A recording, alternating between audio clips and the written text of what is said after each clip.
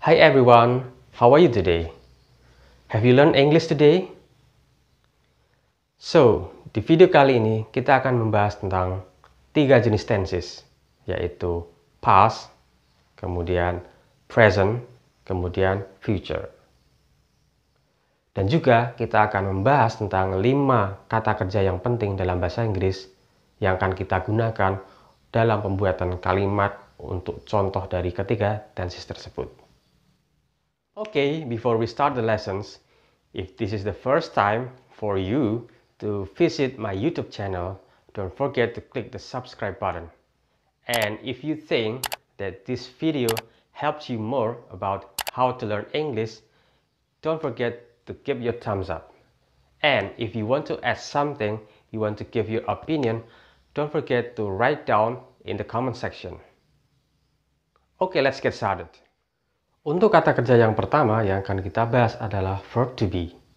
Verb to be adalah salah satu kata kerja dalam bahasa Inggris yang terlihat simple, tapi dia memiliki fungsi yang penting. Untuk contohnya, past, yesterday, I was happy. Yesterday, I was happy. Kemudian untuk present, right now, I'm happy. Right now, I'm happy. Kemudian untuk future, tomorrow I will be happy. Tomorrow I will be happy. So anyway, are you happy today?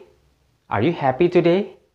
Kemudian untuk kata kerja yang kedua adalah kata kerja want atau to want. Kemudian untuk contoh kalimatnya, past, yesterday I wanted ice cream. I, yesterday I wanted ice cream. Kemudian untuk present, right now I want ice cream. Right now I want ice cream. Kemudian untuk future, tomorrow I will want ice cream.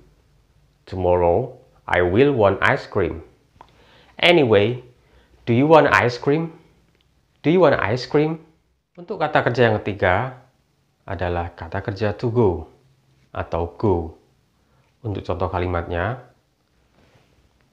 past. Yesterday, I went to the bank.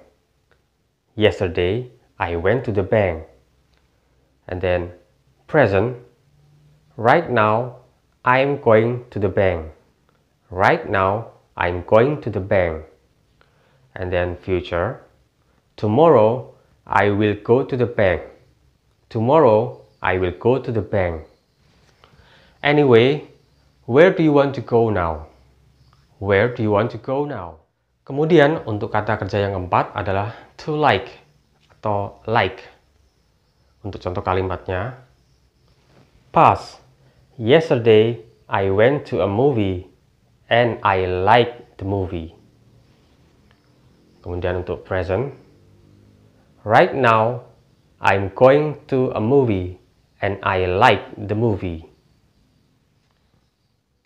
Kemudian untuk future, tomorrow I will be going to a movie and I will like the movie.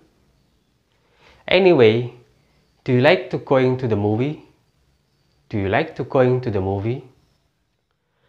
Untuk kata kerja kelima atau kata kerja terakhir yang akan kita bahas adalah to have atau have. Kemudian untuk contoh kalimatnya, past, yesterday I had a car.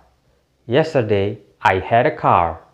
Kemudian untuk present, right now, I have a car. Right now, I have a car. Kemudian untuk future, tomorrow, I will have a car. Tomorrow, I will have a car.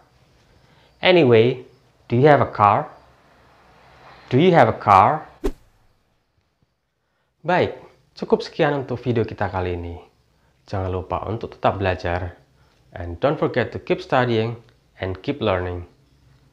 Okay, and I'll see you on my next video. Bye-bye.